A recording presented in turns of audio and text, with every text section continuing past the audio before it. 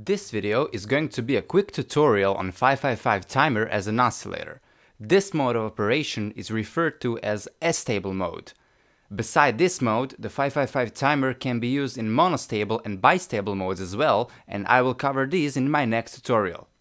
I'll be using a TLC 555, but any kind of variation can be used, including NE 555 and LM 555. Let's build the astable circuit on a small breadboard. Simply by following the schematic, it took me around 4 minutes to assemble it.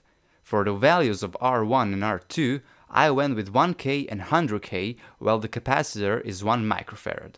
The 10 nanofarad cap on pin 5 is not necessary for this circuit to work, but it is recommended to ground the pin 5 through it just to improve the overall stability of the timer.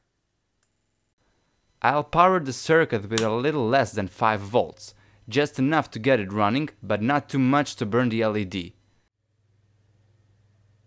If I swap this 1 microfarad cap and replace it with a 4.7 microfarad one for example, the frequency decreases to around 1.5 Hz. You can also change the frequency by varying the resistance of R1 and R2. Potentiometers are sometimes placed instead of fixed resistors if it is necessary to have the ability to adjust the frequency. You can generate square wave signals with TLC 555 up to 2 MHz. Simply use capacitor in nanofarad or picofarad range in order to get higher frequencies. For example, if I use a 10 nanofarad cap and connect a speaker to the output pin 3, I can hear a tone of around 700 Hz. The 555 timer itself can power small loads such as single LED or low power speaker without a problem, but if you want to control some heavier loads such as an incandescent light bulbs, you will have to use a relay, for example, to turn it on and off.